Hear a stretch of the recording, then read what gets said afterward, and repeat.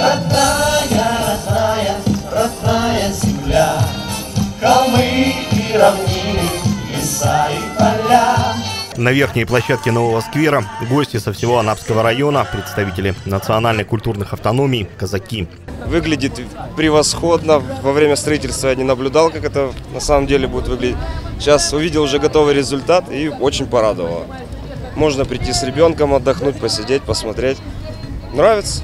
Здесь две площадки для отдыха, освещение, почти 2000 квадратных метров газона с системой полива. Татьяна и Денис с дочерью Екатериной живут здесь же, в пешей доступности. Для них важно то, как распорядились свободным участком земли. Место, по крайней мере, выделили, да, не стали отдавать под что-то. э, То есть как-то людям приятно, что есть какая-то забота властей о них. Здорово, этой площадки как раз в Субсихе, наверное, и не хватало. Как бы теперь будет куда ходить, немножко прогуляться, тем же мамочкам с детьми, с колясками. И, да и нам также на лавочке посидеть. Юрий Поляков вручает благодарности строителям. Из-за перепада высот порядка 17 метров это не самый простой объект. Тем не менее, его удалось завершить в срок. Конечно, это будет место притяжения не только жителей Субсеха, это будет место притяжения анапчан.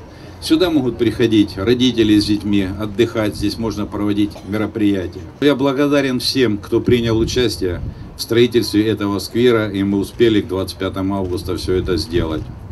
Я хочу вас всех поздравить. У вас есть такое место достойное, где вы можете приехать и отдыхать. Прежде всего, я хочу сказать от имени Анапчан спасибо нашему главе Юрию Федоровичу Полякову. Действительно, он все сделал для того, чтобы успеть к 25-му.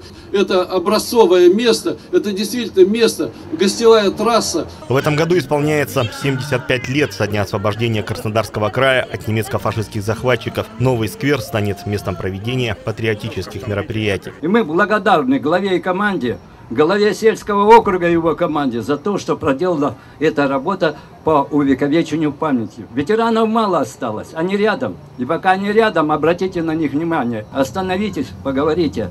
И пока мы будем нести это в памяти, Россию никогда не сломить. С праздником вас! Здесь два монумента.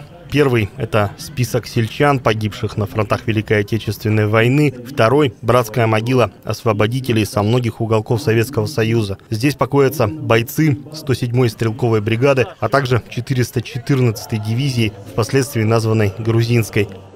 Немцы бежали уже, им уже было не до нас.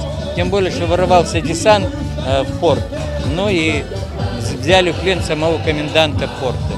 Монументы привели в порядок. Можно сказать, что сквер их аккуратно обступил уже этой осенью, когда погода будет благоприятной. Ландшафт дополнят хвойные и лиственные деревья, а также кустарники. Александр Ребека, Михаил Григорьев, Анапа регион.